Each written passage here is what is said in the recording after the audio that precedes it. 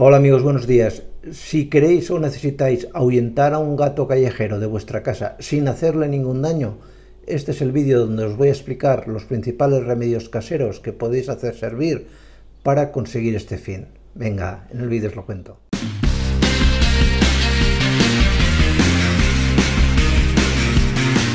El primer remedio casero que os voy a, contar es básicamente, pues yo creo que un remedio que sirve para muchas cosas y sirve también para como ahuyentador de gatos, que es eh, diluir vinagre en agua. Me da igual que sea vinagre blanco, que sea vinagre de manzana, una parte de vinagre con una parte de agua. Lo metéis, lo mezcláis, lo agitáis un poquito, lo ponéis en una botella y a rociar.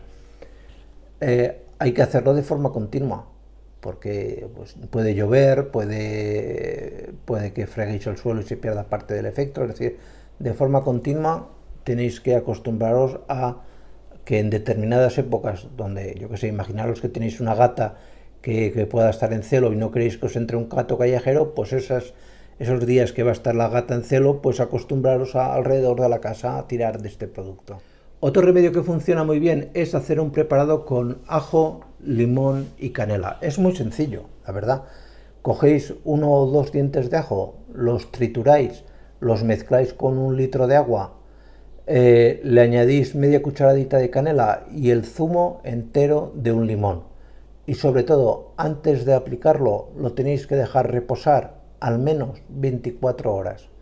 Una vez el producto haya reposado, que todo se haya macerado, lo ponéis en un spray y con eso podéis darle a toda la casa, a las ventanas, al marco de las puertas, es decir, zonas donde el gato que viene de la calle puede eh, acceder a vuestro domicilio y que en cuanto huele esto, pues ya el gato se va para atrás. Otros repelentes, pues, o ahuyentadores de gatos son todo aquello que le podáis poner eh, aceite de romero. Mm, podéis poner, eh, dejar a agua, agua tibia con, con una serie de ramas de romero, lo dejáis unos días y eso va soltando sus aceites esenciales y ya directamente podéis pulverizar por donde queráis.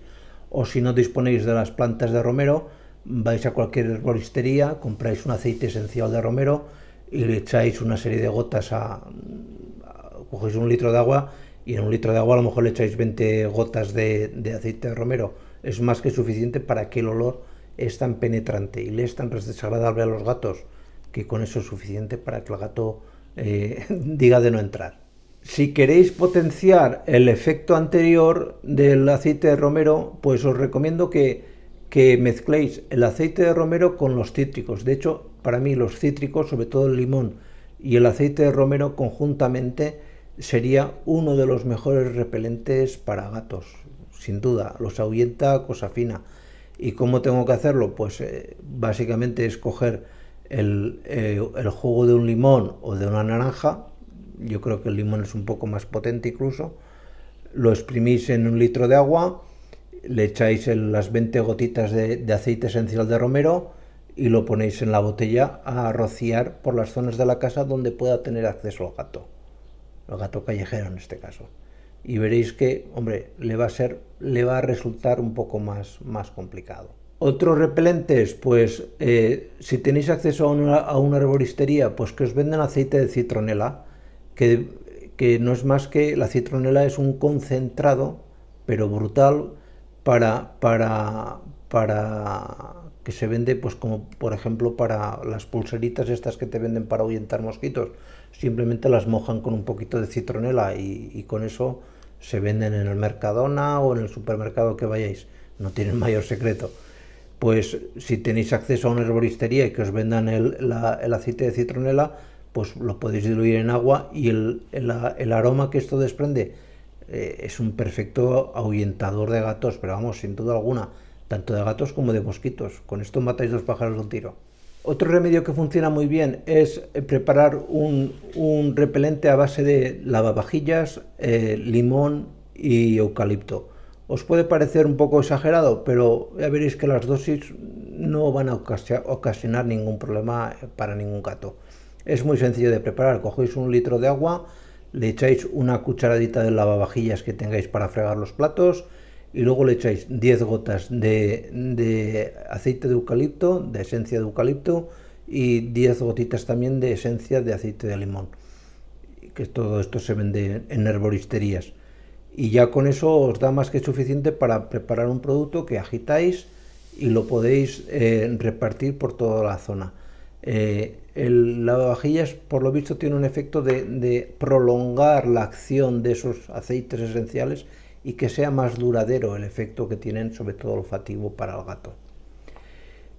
Os he contado sobre todo repelentes, pero si de verdad queréis que ningún gato entre en casa, eh, podéis combinar esto con, otra serie de medidas. Y medidas que, son, que, que no cuestan porque se hacen una vez en la vida y os sirven para toda la vida. Por ejemplo, eh, si habéis visto estos cantos rodados que se utilizan en las jardineras, de estas, de estas piedritas blancas que venden, pues estos cantos redondos eh, a los gatos les da mucha manía andar sobre cantos de piedra. Con lo cual, si ponéis alrededor de la casa o de los puntos donde pueda entrar el gato cantos de estas piedras, por ejemplo, la base de, de, la, a la entrada de las puertas o en, las, en la, la parte baja de las ventanas, etcétera, al gato, que hombre, que podría saltar, pero si le ponéis un poco de, amplitud al tema, pues al gato le molesta muchísimo andar sobre, sobre estas, estas piedras. Y poco más, esto es lo que os tenía que contar en este vídeo sobre los repelentes o ahuyentadores para gatos. Espero que haya sido de vuestra utilidad. Aquí os dejo un vídeo, un enlace para que os suscribáis y aquí hago un vídeo más para que nos veáis. Muchas gracias por, por habernos visto y por favor, cuidaros mucho. Hasta luego.